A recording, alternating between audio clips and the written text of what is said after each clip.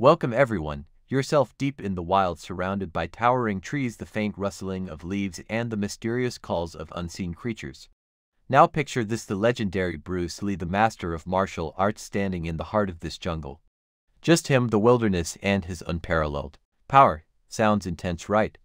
Today we're diving into the real power of Bruce Lee in an environment that challenges even the greatest the jungle. We'll explore what makes him a martial arts icon, why his techniques seem unstoppable, and how he revolutionized the world of fighting. So sit back and let unleash the fury. 1. Introducing Bruce Lee Power Bruce Lee wasn't just a martial artist.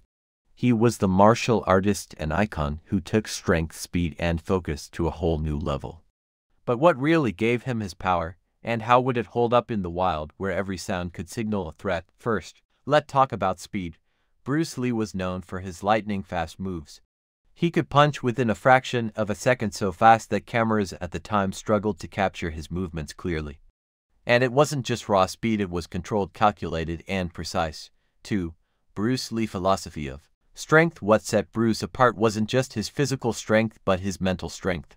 His philosophy of be like water is famous. But what does it really mean?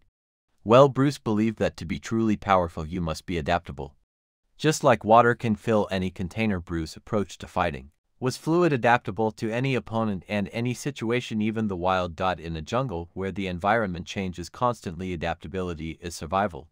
Bruce philosophy means he could adjust his stance technique and speed to whatever the situation demands. 3.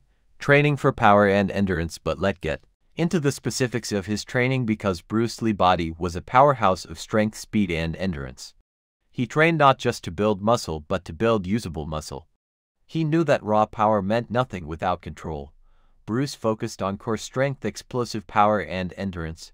His routine included everything from weightlifting to intense cardio from finger push-ups to leg raises.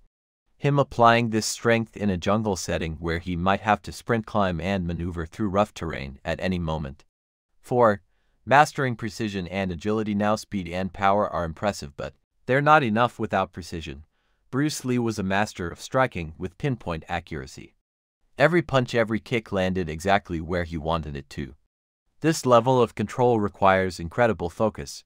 Bruce Lee in the wild hearing a sudden wrestling sound behind him in a split second he turns, and with precise aim he strikes. Thanks for watching everyone. If you enjoyed learning about the real power of Bruce Lee hit that like button, subscribe and let us know in the comments what inspires you the most about Bruce Lee.